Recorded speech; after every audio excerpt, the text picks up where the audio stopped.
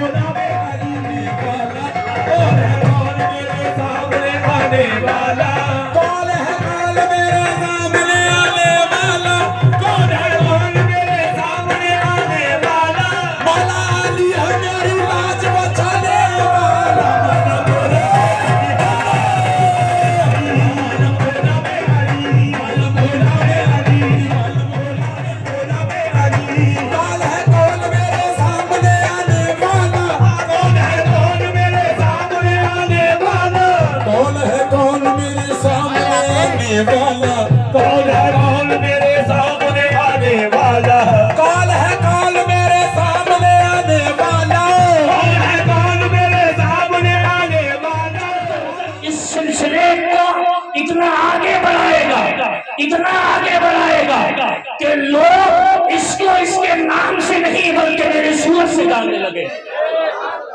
میرے اس کو نام سے کم، میری صورت سے زیادہ جانیں گے۔ اور وہ وقت بھی آیا جب مقصود میاں کا زمانہ، بزرگی کا آیا۔ تو دیکھنے والوں نے دیکھا جو خواجہ حسن کا چہرہ ہے، وہ چہرہ مقصود میاں کا ہے۔ جو چہرہ خواجہ حسن کا ہے، وہ چہرہ مقصود میاں کا ہے، جو انداز خواجہ حسن کا ہے، وہ انداز مقصود میاں کا ہے۔ جو ادا خواجہ حسن کی ہے، وہ ادا مقصود میاں کی ہے۔ این مقام بقا اللہ ربی ربی جل اللہ، ما فی قلبی غیر اللہ۔ اللہ موسیٰ عمران عیسیٰ دورہ نور مجسم، کلام اللہ، آقا میرے حاجی محمد، عنایت حسن شغل عزیز رحیم دے سوتی مرشد، علم اللہ، حسبی جل اللہ ما فی قلبی غیر اللہ نور محمد صلی اللہ لا الہ احمد و حامد اسم محمد صلی اللہ علیہ وسلم. صلی اللہ صلی اللہ حسبی رب جل اللہ ما فی قلبی غیر اللہ